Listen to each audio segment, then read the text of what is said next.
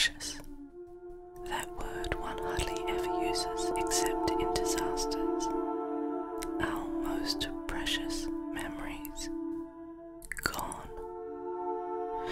And in their going, an intimation already of my own destruction and loss. For how much stronger am I than this wooden frame, these once hidden screws?